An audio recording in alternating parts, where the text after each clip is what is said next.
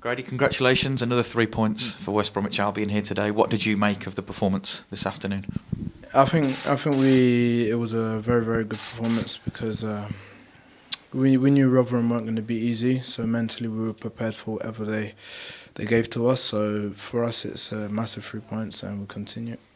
Was it a different kind of pressure that you guys were under today? There was probably a lot of pressure on you guys to go out and win the game. Potentially, that there hasn't been so far this season. Did you feel that at all today?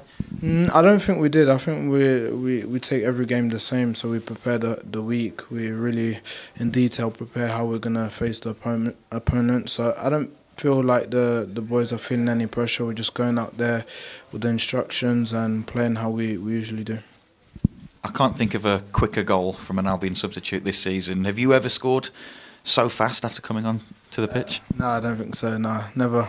Uh, it, it al almost came as a surprise to me as well, you know.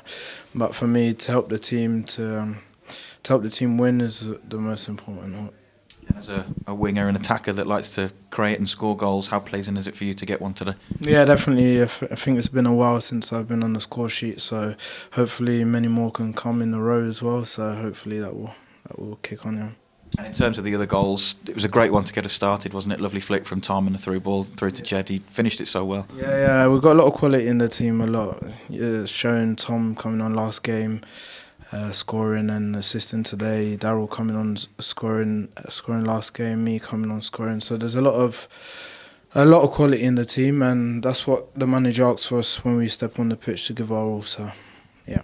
Just finally, Grady, just on that point, in terms of competition in the squad, you look at the bench today, it was a very, very strong bench for us, the likes of yourself coming on, Brandon, um, Taylor, Karlan, for example.